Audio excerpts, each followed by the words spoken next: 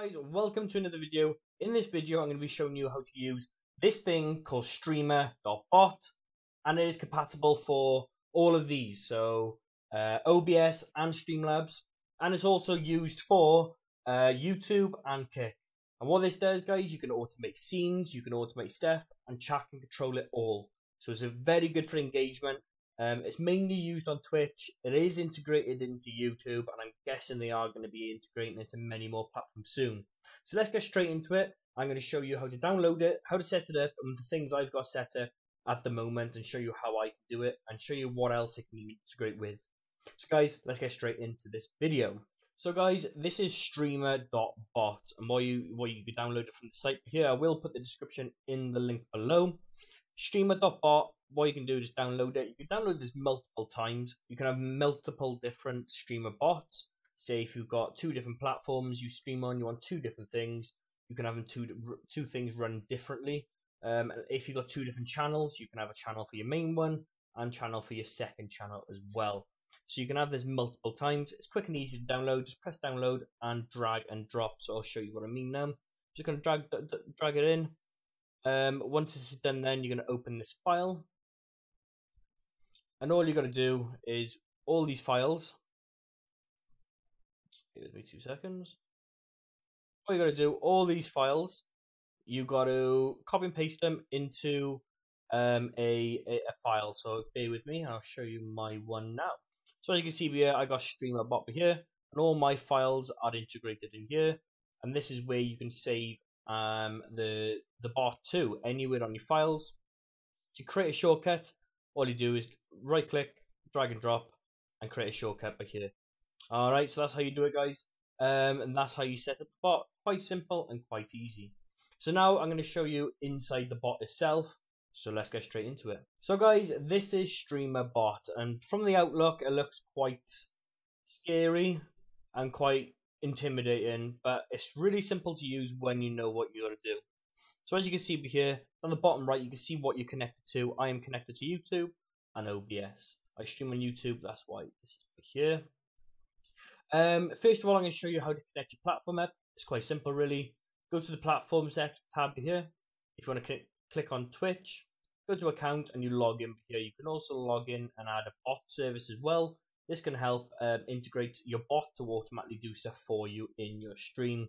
This is very unique just to Twitch at the moment. Uh, again, the same thing for YouTube. Just go in, auto sign in with your Google account, and good to go. I'm not going to show you how to do it because mine's already connected. Also, I don't want you to see my details. So, guys, the next step then is to obviously add your OBS. Uh, the best way to add your OBS is via the Stream app here and going through um, the automatic website. So you just press add here. Um, if you're on the old version, you would go to 4.9, and this you know it's the old version because port would be 4444444. I'm currently on the newer version where the port is 4455.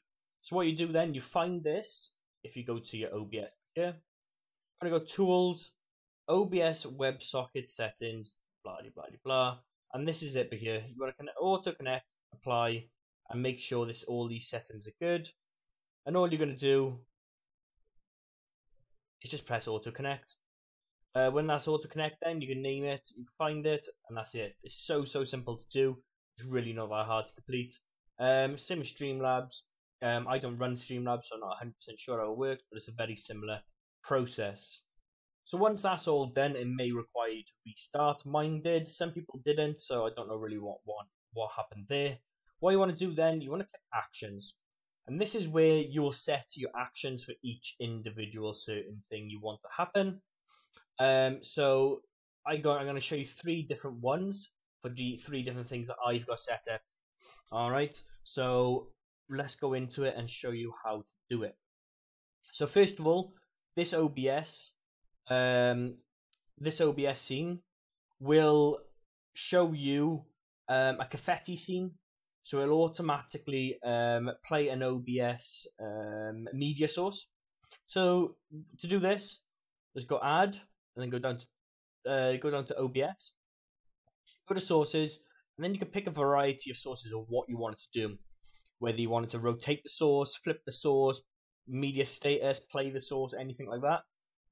So this one's a media play center. So I'm just playing the status of it and then hiding it after. And the best way to test these, you can actually just test them straight in.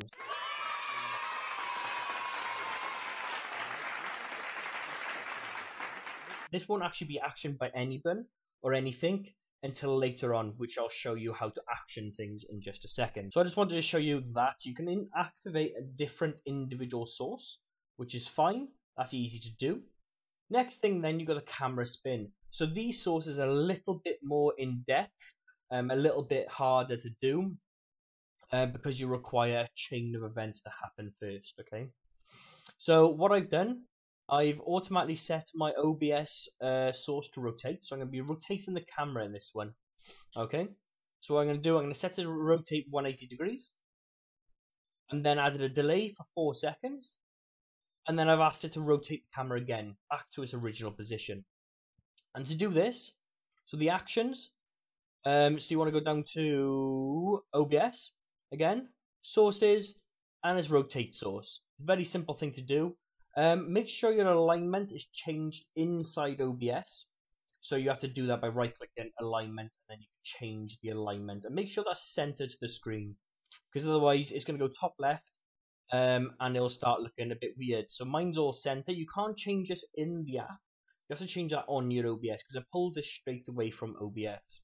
Once you set it to uh, center and then move the camera to your correct position, it will rotate in the in the the same position and it won't move to the top left, top right, bottom left. Okay, so you need to change that within OBS. So to change something, uh, to change the alliance or the transformation, whatever you want to call it, within OBS to center, what you want to do is right click. Uh, you want to go to transform, edit transform, and this is where you can change up here. So at the moment, this is top left. You change this to the center, it will move it to the center, and then what you do then, you replace it back again. Okay, so that's how you do that. Um, again, it won't show on here 100% because at the moment I'm using it on a different OBS. That's how you change that, okay? So it's a very simple thing to do. That's all you got to do and then move it back to the correct position you would want it. And then it will just um, spin in this axis then on itself. So add a delay. You want to go right click again. You want to go uh, core and you want to click delay. Okay, so all these delays, um, it depends how many seconds you want. So you can have 4,000 is 4 seconds. This is in milliseconds, I believe. Um, you can also set it to a random amount as well.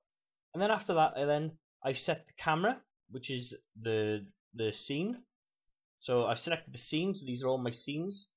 And then I've selected a source, which is individual. My sources are all done within a certain um, group because I like my camera and my alerts and everything to be around the camera. So it's all set into one place. Um, so it all stays nice and neat together. And then you obviously want to set how many degrees you want to set it and go. And then this is how you test it. So it'll look something like this. Before I test it, I just want to say the one thing. The way I test things, there's a little um, voice control tab here. Okay, it's not great. I'm not going to lie to you. Okay, um, I use it for my sub alert. So when I say thanks, it should automatically play confetti and stuff like that. But because of my accent is a bit strong, um, they it doesn't normally pick up words. So what I do, I just set the num uh, set it to this word, okay, and then within this action, then I can set up um what I want it to play and how I want it to play. Okay, so I set it to that word. What you want to make sure before you do it make sure you've got your um, your correct microphone plugged in. Make sure this is on listen instead of stop listen. And then you can see, there you go, that's all the dialogue is picked up so far. So if you press stop, it won't pick up no dialogue. As you can hear, it's not picking up anything at the moment. If you press start, now it will start picking up all what it thinks I am saying. So I've set the the the um the keyword as one. It might not pick it up. It might pick it up. We'll see now. So let's give it a go. One. So as you can see, it's rotated the camera over here now. After four seconds, it'll rotate it back.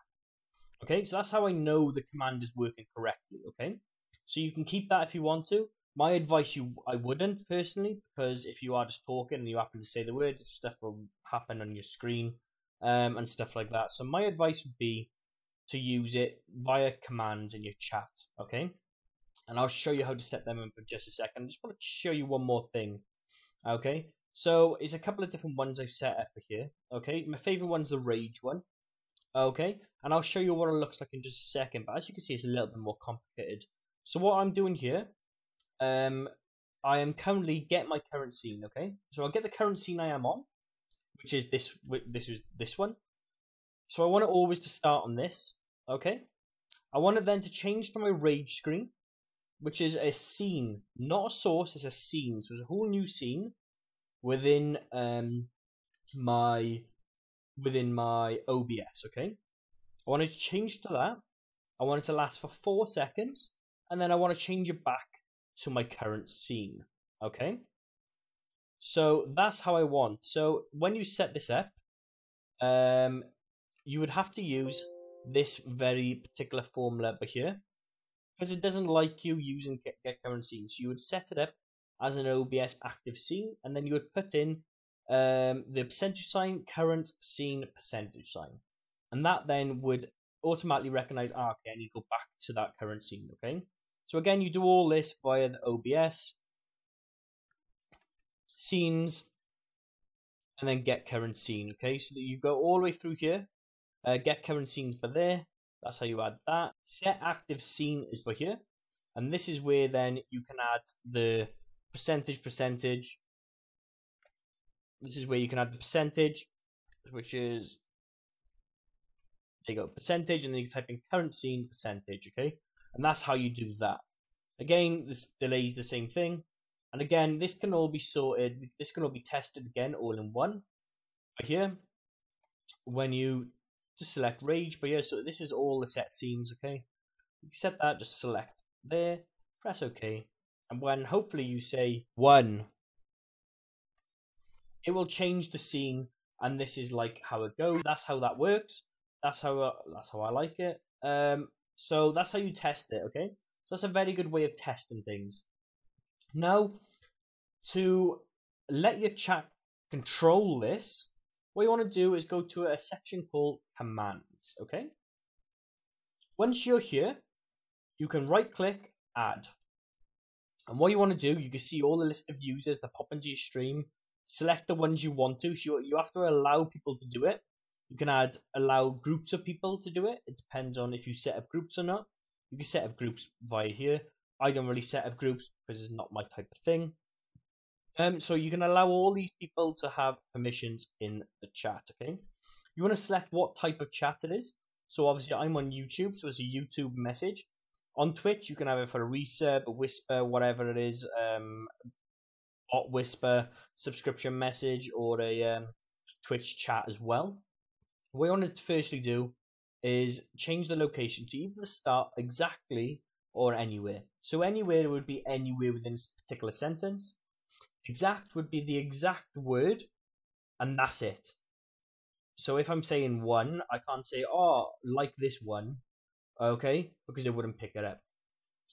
At the start, it would just be at the start of the word. So I always use exact and again, for this, then um, we we can type in because um, it's a rage scene. We can type in rage. If you want to set up the confetti, we could have um, um, W, big W in chat, and then to set different variations, we can have a, a capital W, and then we can have a lowercase w. Okay, so this is variations. They have to be on separate lines going down.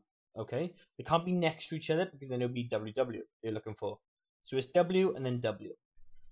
And then you want to select the action type.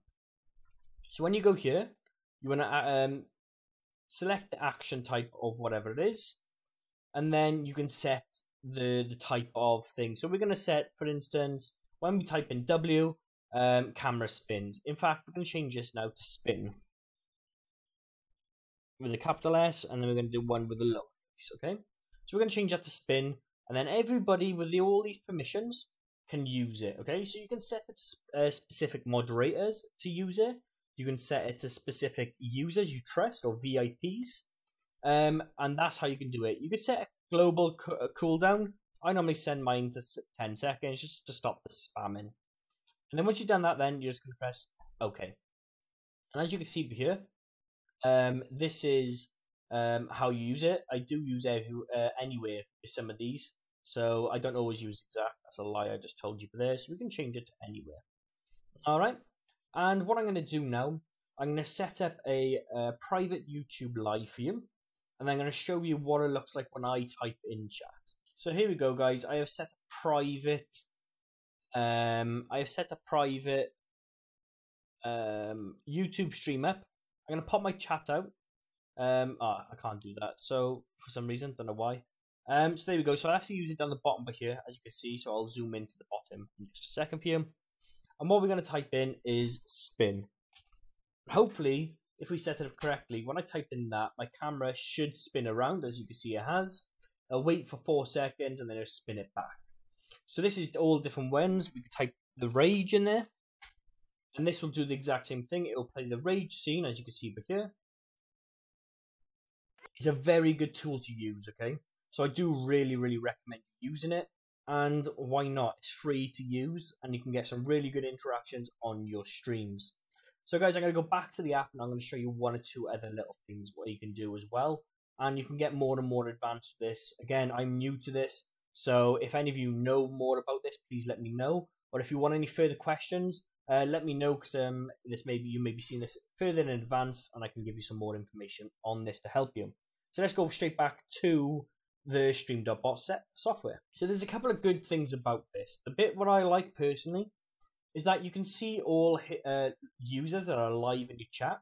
Obviously, they're all hidden at the moment because none of them are live. You can click on all these names and you can see them and you can see how long they stayed in for, what they did, how many donations they sent, etc., etc.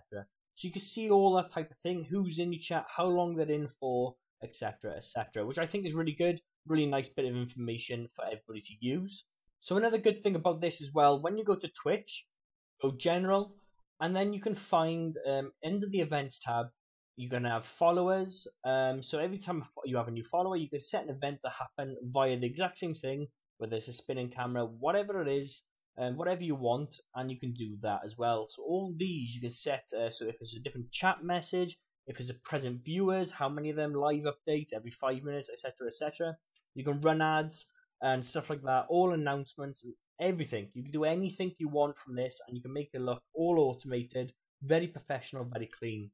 You can also set it so cheers, subs, resub, gifted subs. It's, it's basically it's like Streamlabs in a weird way, where you can actually set different tasks up so you can play different media sources, and you can have your alerts going through live without using browser sources if you didn't want to. Um, so it's a bit more cleaner and a bit more you're in control. Um, with browser sources, sometimes they work, sometimes they don't. Um, you never know. One of the softwares could go down and you won't be able to do it. Hype train, community goals, charity goals, whatever it is on here. You can change your stream information on here as well. You can do absolutely everything. You can do channel point rewards. Okay, so you can right click and add whatever you want here, um, and stuff like that. You can do polls here. So you can do a poll, um, see when it's created, updated, whatever predictions, and obviously account. Okay. With YouTube, it's not as much, unfortunately. It's just quite new to the integration. So you got your events, so you got certain chat messages, sponsorships, present viewers, etc. Um, memberships, you can do that if you've got memberships active. Super events or super chats, depending on what you want to call them. Uh, broadcast events, so broadcast start and end and updating, blah blah blah. Statistics on the update as well and you can also change your stream information. This is very good, especially when you're live, um, without having all the tabs trying to find it. If you've got a bot, you, which you will need, you will need the bot up and active in the background if you want this stuff to work. Okay, chat, just want you to. You can also integrate many different other applications. So Streamlabs with the donations, if your donations go straight through there, or purchase merch through them. StreamElements are the exact same thing. Voice mods, you can have auto connect on there, and you can connect your voice mods so um, it can automatically pick up certain things. Uh, DonorDrive, don't know what that is. All this sort of stuff, I don't really know much too much about it. Lumia streams, so that's the stuff that can change lights and stuff. Very advanced feature. Very, very good application. Definitely should go and check that out. you can link that in with you, So you, chat can change your light um your light with certain commands and stuff via Streamer Bot. Okay. Um, you can also add Stream Deck if you would want to. Um, you can. I don't really know what you could do with it personally. I don't use it. Um, I have a Stream Deck, but I use the Stream Deck separate to this, so I don't really know too much about that. And it's the same. You can uh, you can have um, direct donos come straight through the Streamer Bot website. Subscriptions, resubs, shop purchases, whatever commission, anything. Um, via your Patreon, Shopify, anything. So you can connect it all up through here, and you can have specific, unique uh, donation tabs come straight through to um, your stream for your users, especially when they've spent their hard-earned money. Um, so it's nice personal touches you can add. It's very, very good. There's a lot to do with this. I've only touched probably about two percent of it in today's video. There's so much you can do with it. So much more advanced features you can do. So guys, go and check it out. Make sure you drop a like and a follow for me on the video. And guys, any comments, um, anything you need help with, or anything you want to let me know, you can do, which I don't already know. Drop a message um, in the comments, and I'll will reply 100%. Don't you worry about that. So, guys, thanks for watching. Take care. Much love. Peace.